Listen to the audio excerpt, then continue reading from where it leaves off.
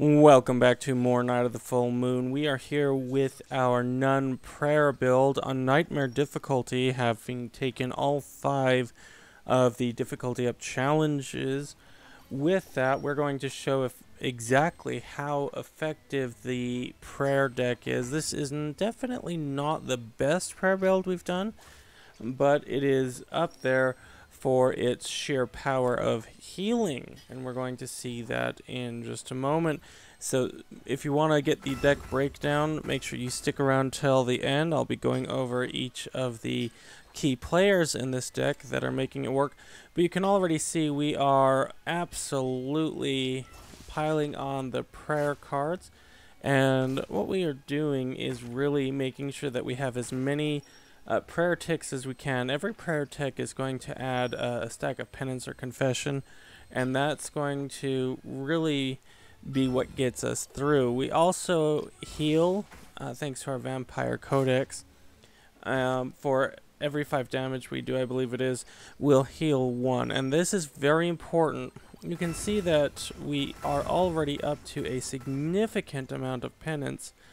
And really, the forest spirit doesn't have much of a chance on dealing with us with 120 penance uh, going through it. Will resurrect, but we're going to be just fine.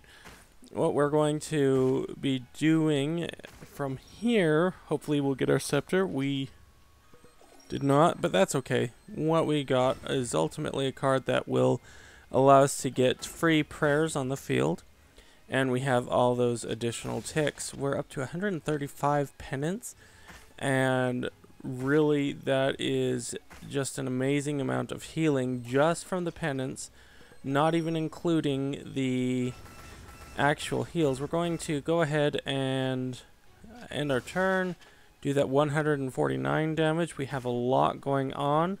Uh, we're going to be getting additional blessings up in this next turn. Oh, we got our Holy Scepter. Maybe a bit late.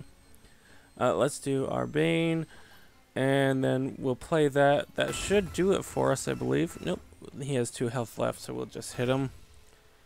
And at this point, I'm going to be quiet for those who haven't seen this. This is a very decent cutscene.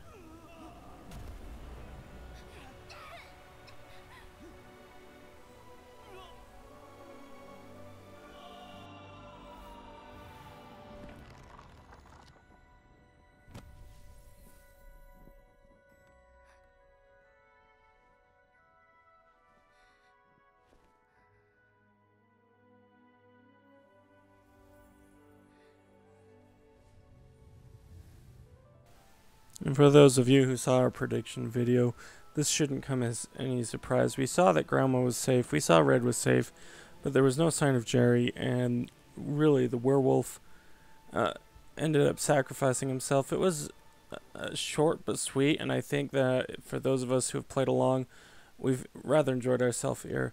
Now, of course, we have our uh, Falling Stones, our Divine Portrait, which is key for this.